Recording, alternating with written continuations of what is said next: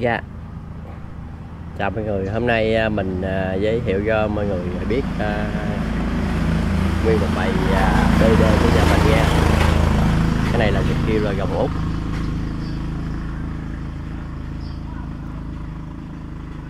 Con này thì ăn chay ăn mặn đều được. Mình thì cho ăn một bữa sâu với một bữa rau.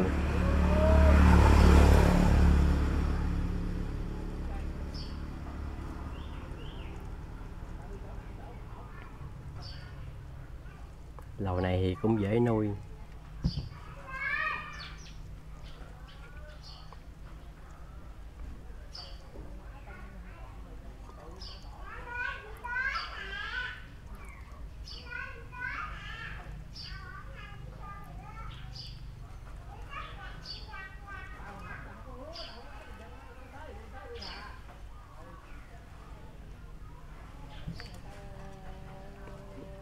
Không lên ăn đi mấy đại ca.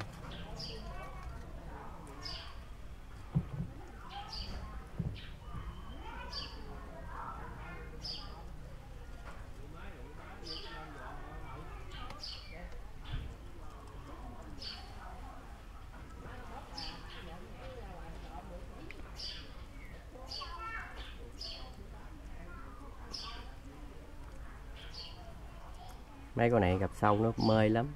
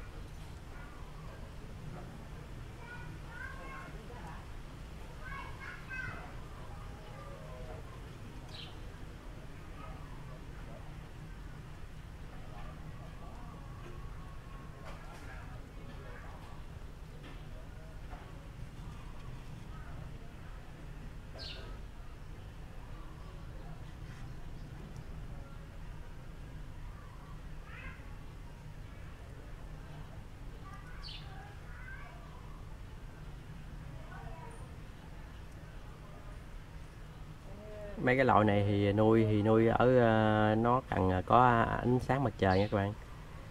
Một là nuôi ở ngoài trời có ánh sáng ờ, hơi có ánh sáng mặt trời, hai là phải nuôi ở trong nhà thì phải có đèn.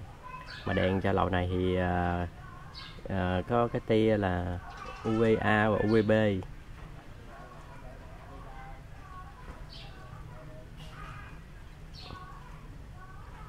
cái à, mấy loại lậu này thì nó giống như à, nuôi mấy cái con à, rắn máu vậy các bạn. Nó cần phơi nắng đừng tiêu hóa ăn.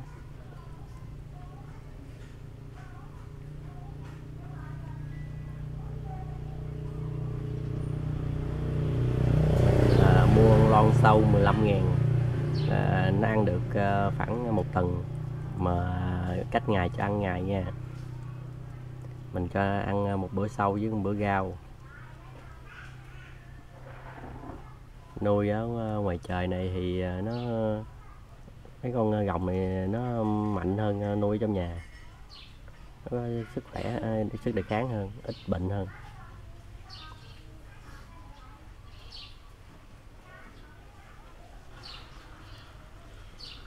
Mấy cái dòng này thường thì nó bệnh phổi.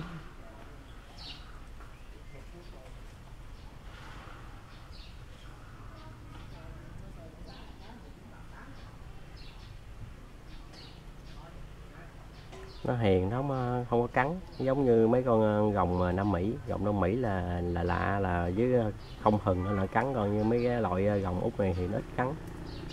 Nó hiền hơn. Nhìn thấy gai góc gì mà nó hiền.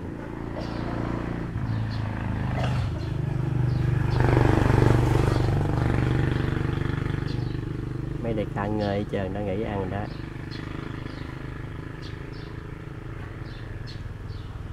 Cỏ này là xài khoảng à, hai ít hết trơn mình nuôi à, mấy cái này cũng khoảng được à, hai rưỡi ba tháng.